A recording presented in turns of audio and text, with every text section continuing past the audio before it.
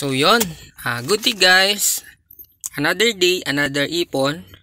So, ito ulit yung ating lalagyan. And for this day, ang aking ipon na ito, yan, 20 pesos. Yan. And ito yung ulit yung mga previews. Masayang araw pala sa inyo. Yan. Ito yung mga previews. Medyo nagdadami-dami na ulit siya tulad nung uh, nakaraan. Ayan.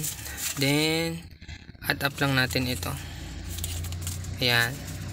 So, ilan na ba siya? 1, 2, 3, 4, 5, 6, uh, 7, 8, 9, 10, eh, 10, uh, 11, 12, 13, 14, 15, 16, 17, 18. Yun.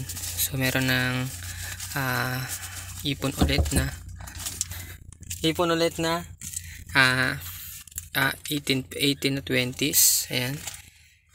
Ayan. So yan laki na ulit natin. Okay. Ayan. So yun lang. That's it. Uh, ingat palagi and uh, God bless